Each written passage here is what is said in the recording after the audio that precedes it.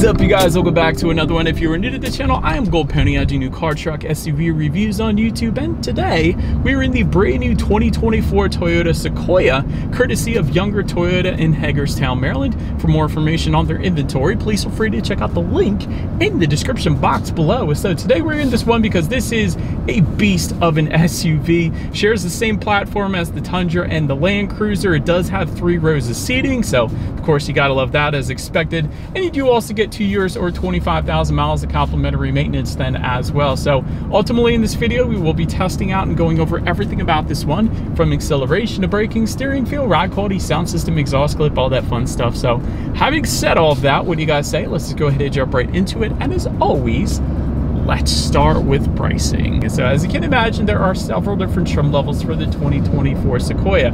First one being the SR5 starting at 61,275, limited for 67,675, platinum for 73,865, TRD Pro starting at $79,110, and the capstone being the one we are in today actually starting at $78,265. By the way, that was all pricing for the rear wheel drive with the exception of the TRD Pro. That comes standard with four-wheel drive, but if you wanted to add four-wheel drive to any of those other trim levels, simply add $3,000 then to any of those prices. But regardless of trim level that you go with, the power plant on the Sequoia is going to be the same. Powering the beast is a 3.4 liter twin turbo V6 hybrid, putting out 437 horsepower, 5,200 RPM, 583 pound-feet of torque coming in at 2,400 RPM, power sent to rear wheels or all wheels through a 10-speed automatic, 0 to 60 time approximately 5.6 seconds. That's plenty respectable on paper there. MPG numbers then coming in at 21 the city, 24 on the highway for the rear wheel drive, 19 city, 22 then on the highway for the four wheel drive, taking regular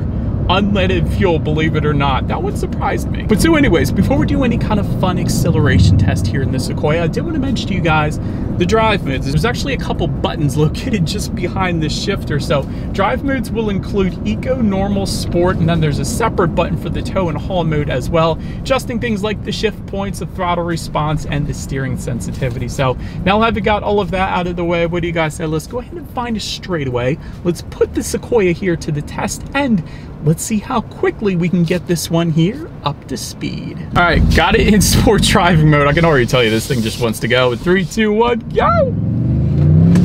Ah. Right, for being as big as it is, yeah, you're not gonna have any issues emerging onto the highway. 0 to 60 and 5.6, it's actually pretty darn impressive, especially for the size of this SUV. So certainly no issues there. There was a little bit of a delay at the very beginning, so there was a little bit of turbo lag there. Uh, it kind of depends on the vehicle, really. You don't always get that, but sometimes you do. In this case, you do get a little bit of that, but overall, definitely plenty quick for the size of this thing, no doubt. But to go along with that acceleration, as always, braking is equally important. So up front, you will find 13.9 inch ventilated front discs. In the back, 13.6 inch ventilated rear discs. As far as that 60 0 stopping distance goes, that comes in at 134 feet, which quite honestly, is a little bit on the higher side of things, but let's go ahead and test the braking feel just real quick here and that is on the softer side of things. So as expected, it feels like 60 0 and 134 feet. And I guess that makes sense with the platform that it rides in. Uh, essentially the same thing as the Tundra. So typically larger trucks do require a little more stopping distance as far as that 60 0 number goes. So typically what I look for in a three row SUV is like at least 120. So a little bit on the higher side of things, but it's all good. But then touching on suspension and handling, it is going to differ pretty substantially dependent upon the trim level that you go with actually. So up front, you're going to get independent double wishbone type front suspension. In the back, coil spring multi-link rear suspension. But if you were to go with that TRD Pro trim level, that's actually going to add a lot. You're going to get an off-road suspension with Bilstein shocks, Fox internal bypass coilovers, rear remote reservoir shocks, and then also a TRD Pro front stabilizer bar as well. But then there is an optional suspension configuration only available for the Platinum and the Capstone like we have today. That's gonna be an adaptive variable suspension and an air ride suspension. It's kind of a, a combo kind of deal there for you. But anyways, that's probably gonna be the smoothest ride without a doubt because the adaptive variable suspension, that monitors each shock absorber individually, not only adjusting to the road imperfections suspensions, giving you a smoother ride, but it also tightens up the suspension during heavy cornering, giving you a better handling, giving you the best of both worlds essentially. And then the air suspension is gonna give you that cushiony ride as well. So when you combine those two, that's the best possible setup for the smoothest ride humanly possible, really in any vehicle. Like that's the kind of suspension setup that the Mercedes-Benz GLS has. So I'll just put it that way. But overall, my short little test drive here today, ride quality has been perfectly fine. I certainly haven't had any issues. This is the perfect road trip vehicle, I guess you could say. As far as steering feel goes, I like it. It's definitely weighted a little bit on the heavier side of things, not too heavy, uh, but it's not a loose steering feel either, which is traditionally what you find in SUVs. So I definitely don't have any issues there. As far as cabin noise goes, we're going 40 miles per hour right now. I think it's a very serene cabin in my personal opinion. I'll let you guys be the judge through my road mic though, but that's due in part because there is an acoustic laminated front windshield that does come standard actually for all trim levels across the board. But in addition to that, the capstone is actually also going to give you acoustic laminated front door glass. So that's typically an option on luxury automakers, but it does come standard here in our capstone at least, so that is gonna give you the best serene cabin that, that you could possibly get essentially. Then touching our rear visibility with the third row down, which is what I have right now, it's actually not that bad.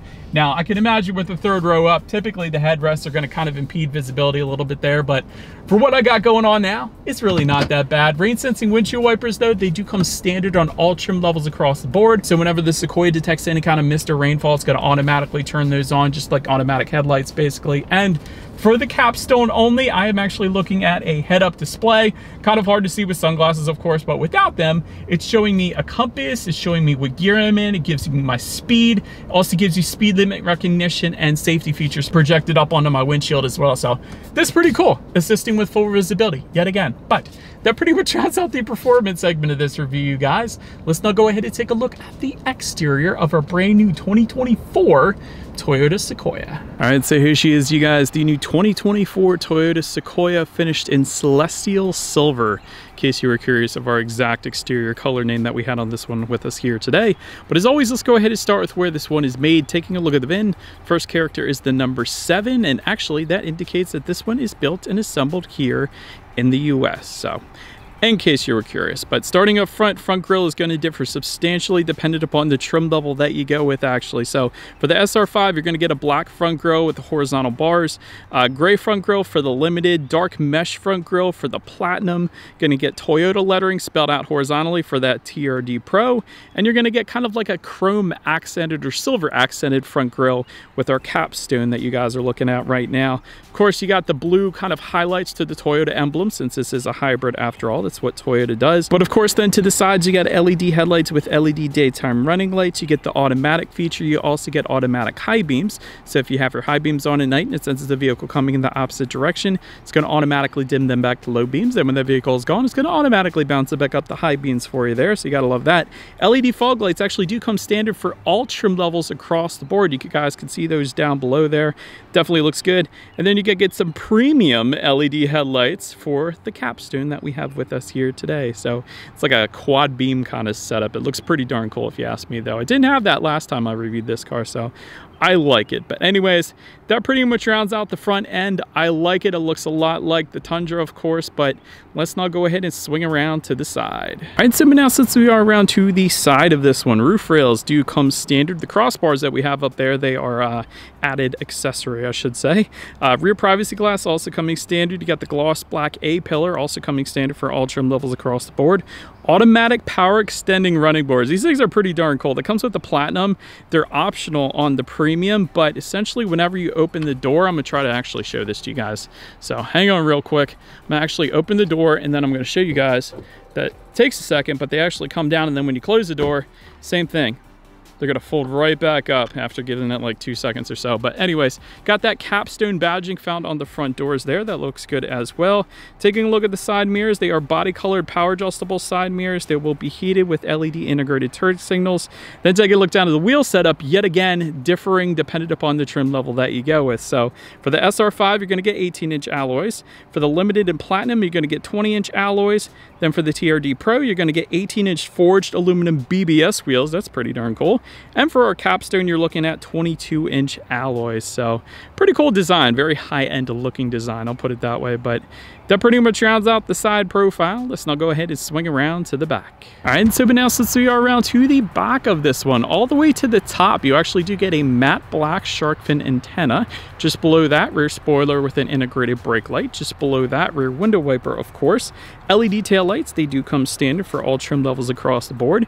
Got that Sequoia lettering spelled out horizontally. That is either going to be finished in chrome or a matte black, depending upon the trim level that you go with. Um, in case you were curious about the towing capacity of the Sequoia, that comes in at 9,520 pounds. One of the cooler things about the Sequoia is I'm going to walk up a little bit closer here. There's actually kind of like this almost hidden black button right here. If you press that, that actually opens up the back, the rear glass. So it's kind of like the 4Runner. I guess the 4Runners is a little different setup. So I'm just picturing like going on Assateague Island or something and like backing this thing up to the beach and just looking out the back end like that. That, that is so stinking cool. But anyways, that's how that works. But then just below it all, you will find a single exhaust outlet. It is tucked away. So having said that, I do believe you guys know what we have to do next here. As always, here is that exhaust clip.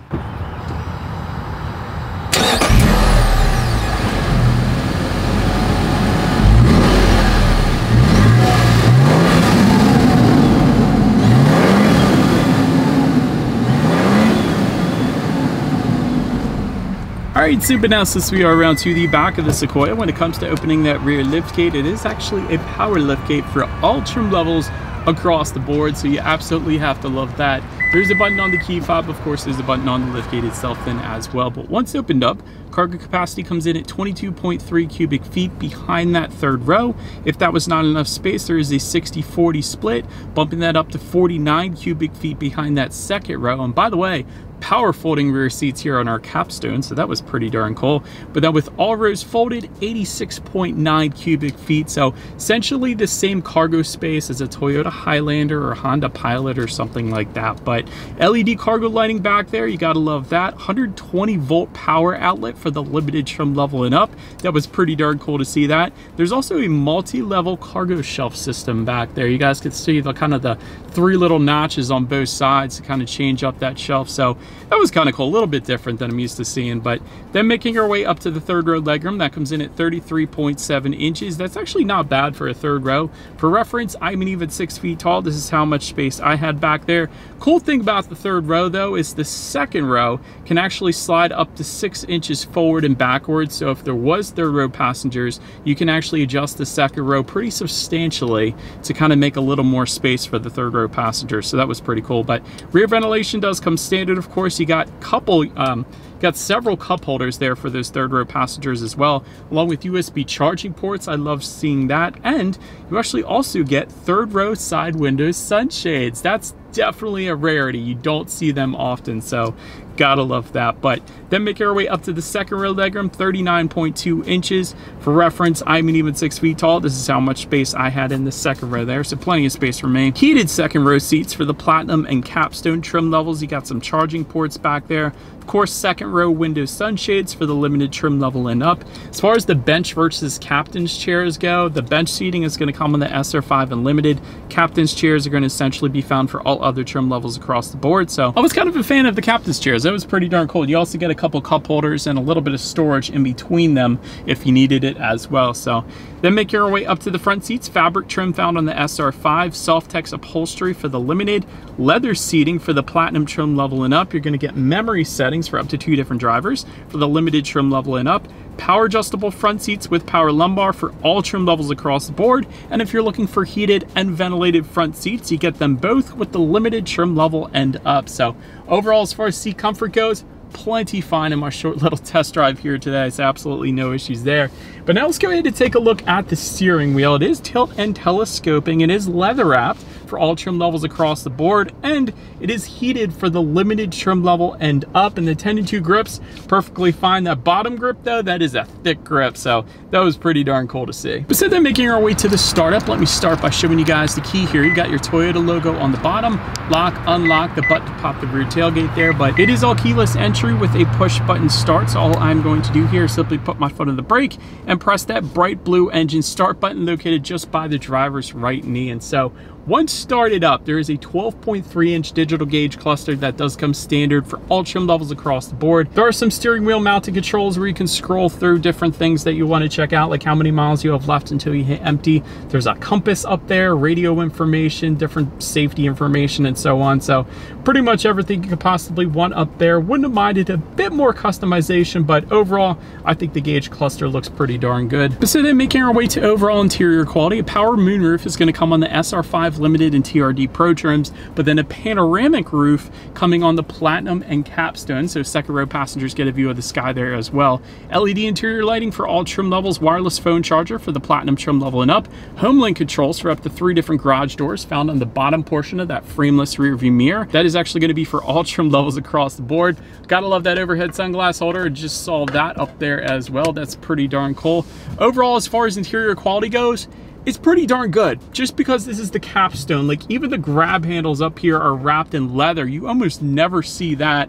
Got the capstone lettering found uh, just kind of through this wood trim just above the passenger side glove box. A lot of nice stitching in this one. I love the light leather with the dark wood. You got a lot of dark wood surrounding the shifter here. Gloss black finishes overall they did an amazing job with the finishes quite honestly and again i think it's because this is the capstone like even the door handle has a nice weight to it. And that's something I don't think I've ever said before, but a lot of times door handles are very light and they just feel cheap, but in the Sequoia, it feels heavy duty, man. Like I'm a big fan of that, but Anywho, so you got your wireless phone charger up front, just behind there, a couple cup holders, and within the center armrest, there is a ton of storage. You even have coin holders in there, a couple USB charging ports as well. So overall interior quality definitely is very nice in this thing. But now let's go ahead and take a look at the infotainment screen. You're gonna find an eight inch color touchscreen display for the SR5, 14 inch color touchscreen display for all other trim levels across the board, Bluetooth and audio streaming coming standard, Android Auto, Apple CarPlay also standard, but it is wireless. So so no pesky wires there, you gotta love that. You can check out some driving statistics up there if you wanted to, along with your radio information. So when it comes to the sound systems, there are two of them. You're gonna find eight speakers for the SR5 and Limited, and then a 14 speaker JBL sound system for the Platinum, TRD Pro, and Capstone. So having said that, we guys say, let's go ahead and turn on the radio. Let's see what we got playing today, and let's test out the clarity of this one. Yeah, that's dang good. That is a dang good sound system for the Sequoia without a doubt plenty of bass, plenty of clarity. I actually had a JBL subwoofer in my first car back in the day, and uh, I thought that was pretty darn cool. But yeah, that's an incredible sound system for this thing. But last thing I wanted to mention to you guys on the infotainment screen is when you do put the Sequoia in reverse, you will find a rear view camera coming standard across the board. But believe it or not, a surround view monitor there to the right also coming standard for all trim levels across the board. Not the highest quality camera out there compared to some of the competition, but it's massive and it takes up the whole screen and that isn't always the case. So I like it, but as always, that is going to lead us into safety. And so front side side curtain airbags do come standard, driver and passenger knee airbags as well. In the back, you're gonna have latch, AKA lower anchors and tethers for children. For the rear car seats, rear child door locks, tire pressure monitoring system, all that's boring, but also coming standard, Toyota Safety Sense 2.5. That gives you a pre-collision system with pedestrian detection, dynamic radar cruise control, lane departure alert with steering assist, lane tracing assist, road sign assist, the blind spot monitoring system with rear cross traffic alert, trailer merge warning, and front and rear parking sensors then as well. So overall, when it comes to my final thoughts here of the Sequoia, plenty of space in this thing, especially because you can adjust that second row so incredibly much. Third row passengers really shouldn't have any issues in that third row there. And speaking of the third row, third row window sunshades, that's something you almost never find. That's such a rarity. I think that's pretty stinking cool. Plenty of power in this thing, plenty of get up and go. You're not gonna have any issues emerging onto the highway. I, I also love the interior quality of the capstone. I'll put it that way, and I wanna emphasize that because I think I remember driving one last year that was in the capstone, and I don't think the interior quality was anywhere near what this is. So I just want to emphasize that. But the only thing that's really in the back of my mind when it comes to this is uh, your comments for all my previous videos with this same engine. You guys put in the comments that you don't know about the reliability because you hear people having issues or yourself has had issues with this particular engine, whether that be in a Sequoia or a Tundra. But I gotta be honest, I can't review reliability in this reviews. And all I have as far as reliability is consumer reports and then to follow what you guys say in the comments. So I don't know. That's in the back of my mind now. I don't know about the reliability, but let me know what you guys think of the Sequoia in the comment section below. That's about it for this one, you guys. Thank you so much for watching. Feel free to follow me on social media at the bottom of the screen if you want to see what's coming next on the channel before it gets to YouTube. Be sure to hit the subscribe and the bell notification button if you're into new car reviews. That is what we do here on this channel after all. Do appreciate you guys watching more than you know. I will see you guys all in the next video. Stay gold.